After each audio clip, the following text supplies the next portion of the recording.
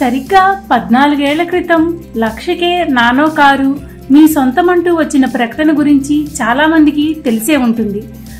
భారత ప్రముఖ పారిశ్రామికవేత్త రతన్ టాటా సామాన్యులకు సైతం కారును అందుబాటులోకి తీసుకురావాలనే ఉద్దేశంతో రెండు వేల ఎనిమిదిలో లక్ష రూపాయలకు నానో కారును లాంచ్ చేశారు.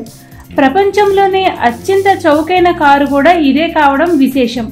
అయితే ప్రస్తుతం ఈ కారు మనుగడలో లేదు.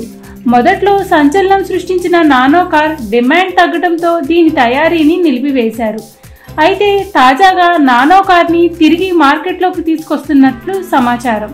టాటా కారు నానో మళ్ళీ వచ్చేస్తుందని ఇప్పుడు సరికొత్త ఫీచర్లతో అందుబాటులోకి రానుందని అది కూడా ఎలక్ట్రిక్ మోడల్స్ విడుదల చేయనున్నట్లు ప్రచారం జరుగుతుంది.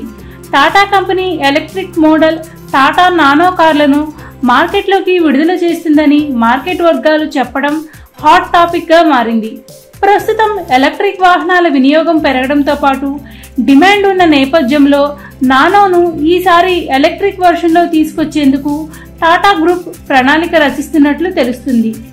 Tata Motors dream automobile project అయిన టాటా నానో రెండు వేల ఇరవై ఐదు నాటికి మార్కెట్లో రానున్నట్లు సమాచారం. ఈ Tata Nano EV car seventy two V lithium ion battery ఫీచర్లను కలిగి ఉంటుందని అంచనా.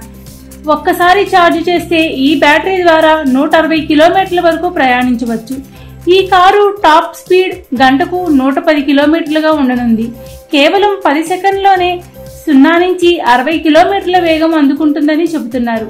అలాగే ఈ సరికొత్త టాటా నానో కనీస ధర రెండు నుంచి మూడు లక్షల మధ్య ఉండొచ్చని మార్కెట్ వర్గాలు చెబుతున్నాయి.